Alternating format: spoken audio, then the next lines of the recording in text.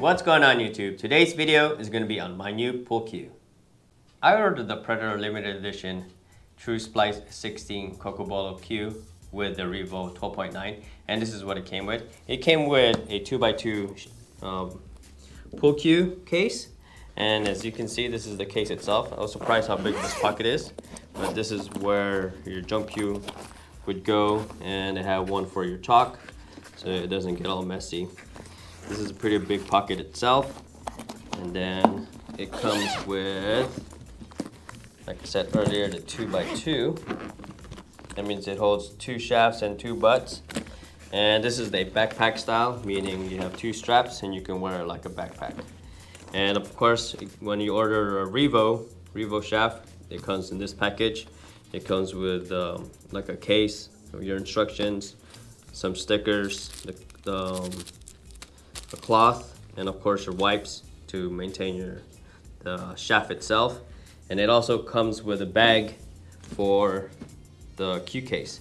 But let's go ahead and talk about this 16 points first time Predator has attempted to do it and actually did a very good job. It comes with nice uh, leather wrap and it's a uh, real leather.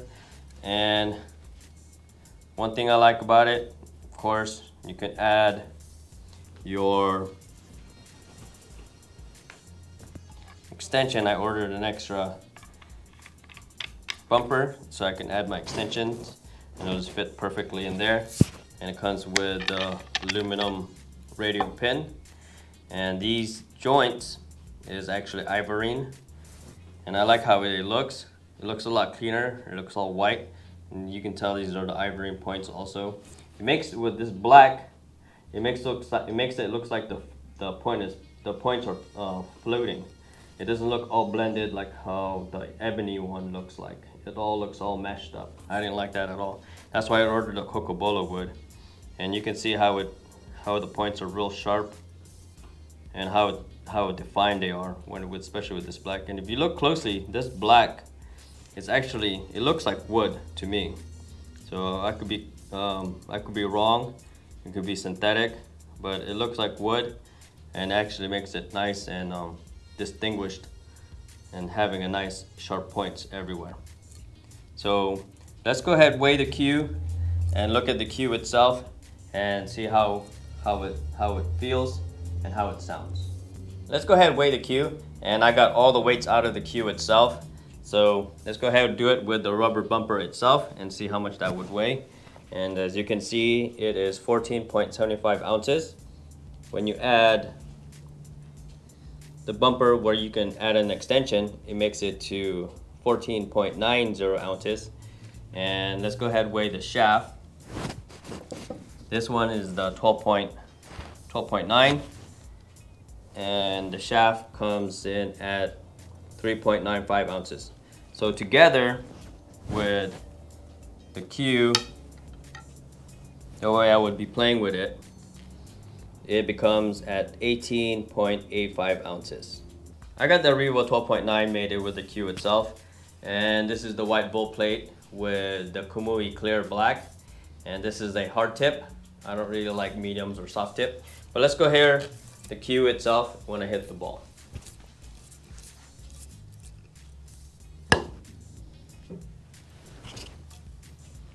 So compared to my old cue, my old Predator, you can't really tell anything with the joint since this is synthetic versus the wood. And of course, having the hard tip, you always hear that thud sound. But I have to get some time getting used to it because it's a lot slimmer because on my old one, I had the epoxy and this is a little bit slimmer. But for having the aluminum pin, I also had an aluminum pin. I couldn't tell any difference between a stainless steel and a G10. All it did was change the weight. So they had to do something with the weights because this is actually a little bit heavier and it's uh, front heavy even with without the Revo shaft. So it's actually front heavy and this is supposed to be an aluminum pin. And if you notice when I had aluminum pins on uh, my other videos, they weigh about half an ounce. So having a stainless steel, they weigh about an ounce and a half. So it took, I don't know where they added the weight, and how they got it a little bit heavier because this is to be a maple core also inside But I'm satisfied with this cue. I really like it. I like how the looks, the looks of it. And hopefully this cue will actually make me shoot a lot better. I did a brief review on my new Predator pull cue. Hopefully this video was informative. Also, if you haven't already, hit that subscribe button, hit the like button, and then leave a comment down below. Thank you for watching, and see you next time. I just want to show you an update on my cue. This is what I did. I did a stack leather wrap, and I flushed it all the way through the cue, as you can see. Also, it goes through the joint. I put a CA coat on it, so the, it's a flush on the joint. The wrap to the cue itself is flush.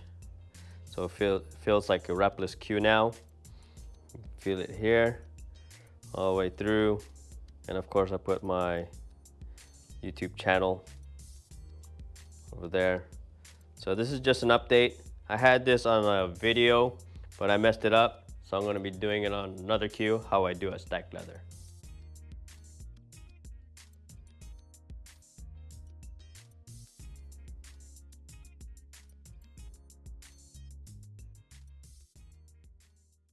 Thank you for watching. Please subscribe me. Don't forget the thumbs up. Bye bye. I did a brief review on my new Predator pull and what?